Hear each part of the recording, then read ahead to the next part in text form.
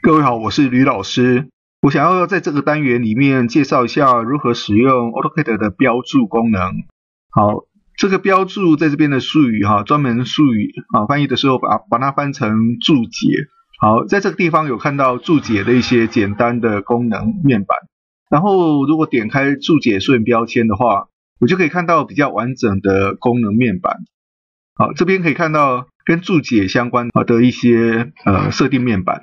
好，那我就先从这边开始好了哈。好，这里啊，它的标注点开之后，我可以看到有线性标注、对齐式标注、角度标注、弧长标注。那目前我想要介绍这四种标注的使用方法。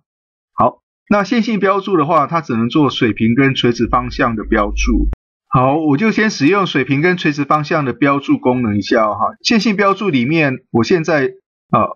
其实我故意做一件事哈，我把这个线哈在端点地方把它分开来哈，表示说这并不是一个结合的点，但是我在标注的时候，我是想要标到最高点啊，这跟最低点的一个这个呃距离了哈，我想要标注一下它们之间的距离。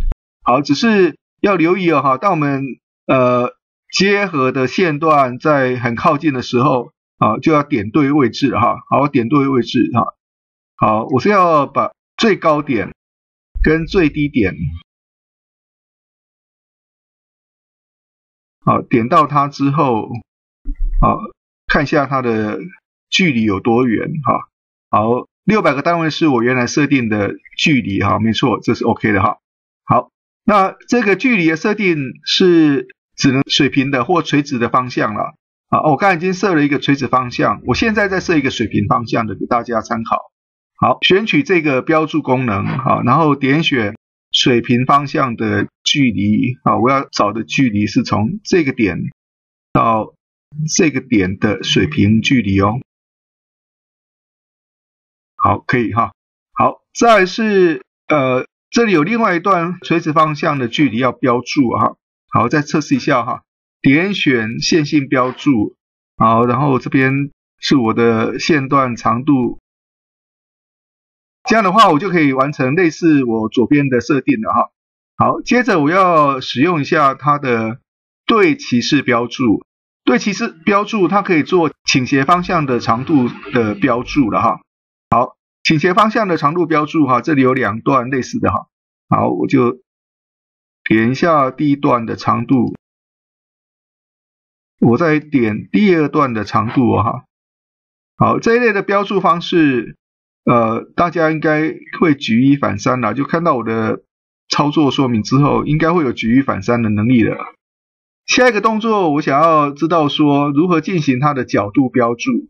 好，我有两个位置可以示范一下怎么做角度标注哈。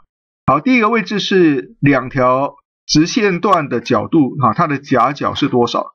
好，当我想知道这件事的时候，哈，我就直接点那两个线段。好，然后它就会在适当的地方哈，但我当然我需要移动一下我的花束哈，让它在适当的地方能够呃形成一个标注了哈。好，然后一样的再做一次哈，我要做一个角度标注，这次是针对弧长做角度标注，好，就点那个弧哦。好，然后移动位置就可以形成我需要的角度标注。最后一个是我想知道弧长的标注怎么使用。好，弧长的标注是这样哈，就是那先点选弧长标注的功能，好，然后点选我要进行的弧长啊标注在哪边，这是我要探讨的那个弧长哈，所以我点这个弧，好，然后它就会形成一个弧长的标注哦。好，这样的一个操作哈，我再很快示范一下哈，我用另外一个图示范一下哦。好，这个点选弧长标注功能，然后再点选我要示范的那个弧长，好，往旁边移动的话，就可以形成弧长的标注。这次颠倒回来哈，就我要做一次角度标注给大家参考。然后角度标注的话，就是先点选两条直线段哈，类似前面那个说明哈，两个直线段之后，它就形成我需要的角度标注。我现在是要探讨。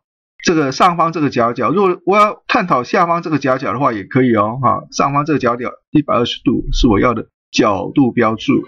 那有时候我需要的角度是跟我的弧线的角度有关，那我去点弧线，好，也会形成我需要的弧线对应的角度。好，再往旁边就是我们的对齐式标注，说明一下，对齐式标注可以进行水平的跟垂直方向的长度标注，特别是倾斜方向的长度标注最适用哈。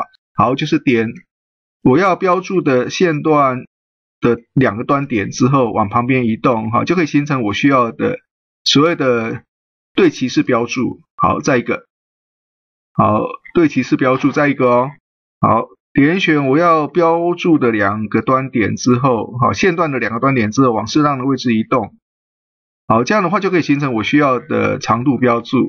好，那其实它也可以做垂直方向跟水平方向的标注了哈，它可以取代我们所谓的线性标注，所以我不用再切换到线性标注了哈，我直接从现在的对齐式标注来进行垂直方向的标注。